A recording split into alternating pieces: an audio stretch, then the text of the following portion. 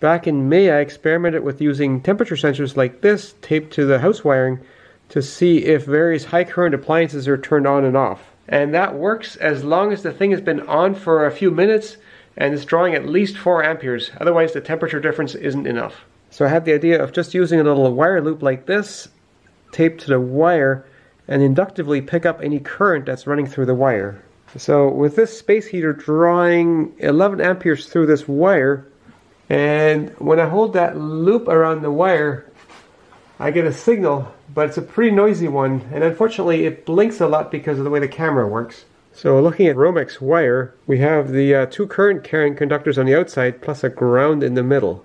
And the way this works is the current traveling through these two conductors cause a magnetic field and the conductors of my sense coil being along the wire or in cross section here will intersect some of these flux lines and basically induce a small voltage for any change in current in here.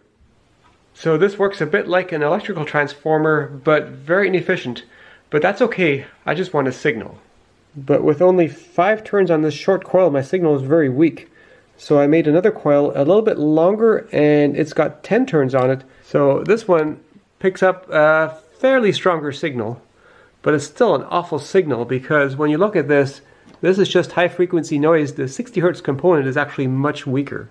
And although mains power is a 60 hertz sine wave, there's a lot of higher frequency components on top, mostly from lots of electronics and whatever other things that switch on and off. And of course, those higher frequency components have a much higher rate of change, and so the sense coil picks up that noise much better than the signal itself. And that's because a coil like that only picks up changes in the magnetic field. So essentially, I'm picking up the rate of change of magnetic field. So I figured no problem, I'll just connect a small condenser across the coil to dampen some of the high frequency components. But if you look at the scope, this is without, and this is with, without, with. So the condenser positively makes things worse. And then I realized, of course it makes it worse, because with the inductance of my sense coil, plus the condenser in parallel to it, that turns into a resonant circuit. And so that just resonates with some of the high frequency components. So now with the condenser across the scope probes, but a resistor in series with the sense coil, that prevents any resonance and also acts as a filter, and I get this nice sine wave, whereas if I bypass the resistor, I get this mess. But I also found I was capacitively picking up some of the voltage in here, and that was distorting my signal a little bit. So I tried a piece of tinfoil between the coil and the wire, and that cleaned it up quite a lot, but it's a bit awkward.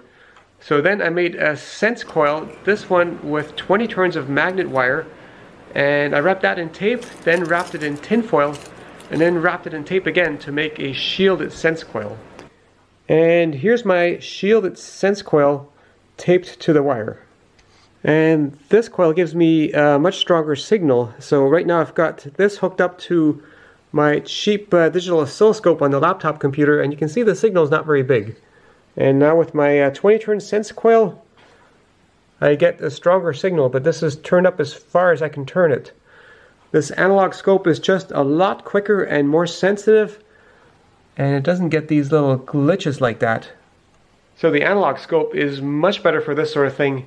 It just doesn't show up very well on video. And now without the resistor, just a condenser on the sense coil, you can clearly see how it resonates.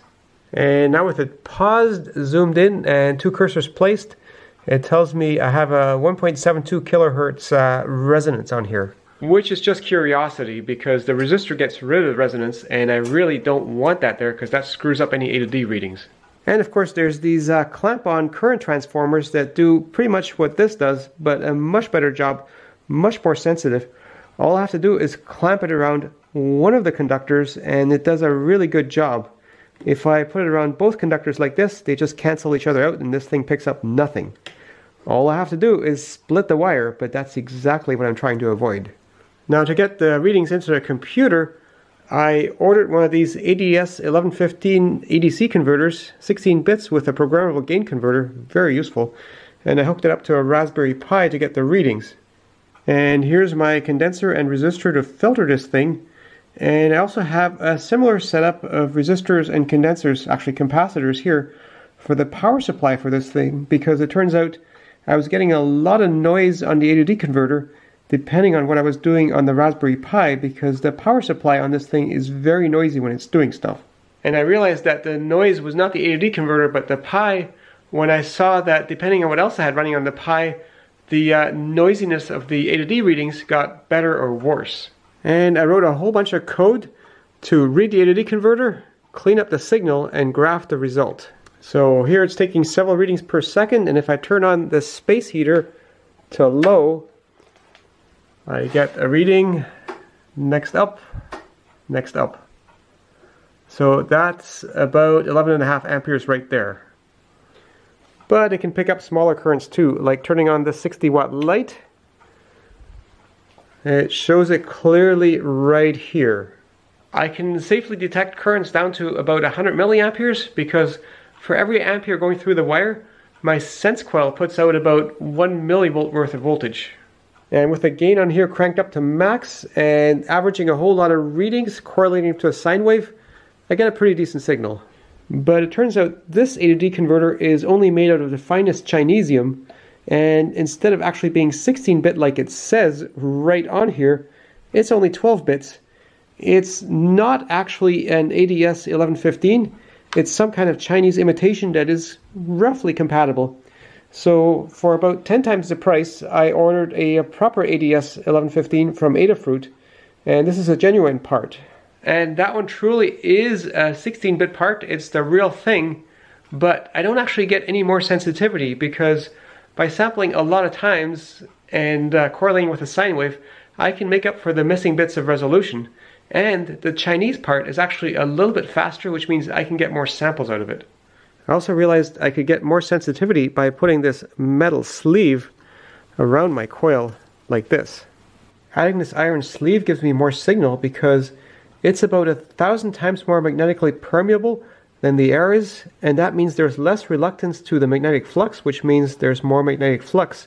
Still has to go through the air in the middle here though.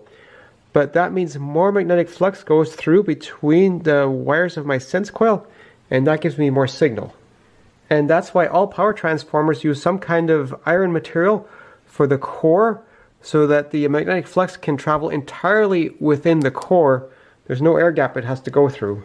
So this is with the heater on medium. Calibration of course is wrong now and if I remove that sleeve the signal becomes much weaker. But anytime you add some magnetically permeable material that material has hysteresis and a saturation point and that can affect the linearity, so I'm not sure if it's a good idea. And now with the sensitivity cranked up some more and averaging more samples, I can actually detect when I'm plugging the iPad into the charger, this uses more current, and we can see there's more here than there was before. Now I'll unplug it again, and you can see it's gone down again. A noisy signal, but to be able to pick up inductively the current flowing through this wire from charging up an iPad, I'm pretty pleased with that. Of course, depending on how the coil is on here and whether I have the shield, the gain changes and I keep uh, calibrating that against my kilowatt meter by changing some constants in the code. But unlike the kilowatt meter, this can read much faster and it can also read much higher currents. So if I want to know how much current does this thickness planer use the instant it starts, this thing is useless, but this can capture it. So this is now reading 30 times per second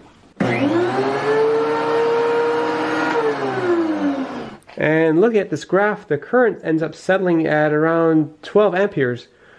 But the instant I turn it on, it surged at over 70. That just seems unbelievable, and it took me quite a while to trust those readings. But if I plug in three space heaters into that same circuit, it reads that correctly. And of course, that's also way overloading the circuit. But the breaker is there to protect the wire, so it won't actually pop until the current has been high enough for the wire to get warm. But of course, if you have a dead short on the line, the breaker will pop right away, but I don't know what current that is for the breaker to pop instantly. Now, if I measure the DC resistance of this planer at the plug and turn it on, that reads 1.0 or 1.1 ohms, and the probes touch together, is already 0.1 to 0.2 ohms, which is to say this planer's DC resistance is less than 1 ohm. That would work out to 120 amperes if it was DC, But still, it makes the uh, 70 odd amperes of surge current more plausible. That saw surges at just 57 amperes. Now I am curious, if I plug both of those in at the same time while they're turned on, will that pop the breaker? Both uh, turn on, and on this thing here, if I plug those in together, will that pop the breaker? Let's scroll back in here. I peaked out at 108 amperes. Man, those breakers are tough. Now the current was less than the sum of the individual tools because when I do that, the voltage drops a lot and that cuts down on the current too. Next test, three things. Circular saw, planer, plus a bandsaw.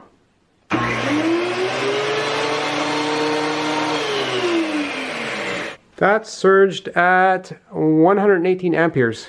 Hmm. Just what does it take to pop a breaker? Okay, this bandsaw, this bandsaw, planer, circular saw. All right, that surged to 137 amperes, but it wasn't the main breaker. It was the breaker in this thing that popped. All right, without the power bar, trying again. Highest reading was 145 amperes. This is getting ridiculous. Now I got the jointer, bandsaw, bandsaw, planer, circular saw. Okay, here goes. Finally popped that breaker. And on here I'm only getting 47 amperes. And that's because I average over two full cycles or about 30 milliseconds and the breaker popped before that. And that was just a 15 amp breaker. And having done all this experimentation with the coil around the wire, I realized the current transformer can be used without splitting the wire if you just kind of clamp it so that the pole's kind of between the wires and that is actually way more sensitive than my coil. So I've got uh, my iPad charger plugged in here and going continuous readings at a much uh, smaller scale plugging in the iPad and you can see a very clean signal of the current going up. This is about 120 milliamps of current. So I didn't need to go through all of that, but the coil can still be useful for measuring very large currents or if you don't want to buy one of those clamp-on current transformers.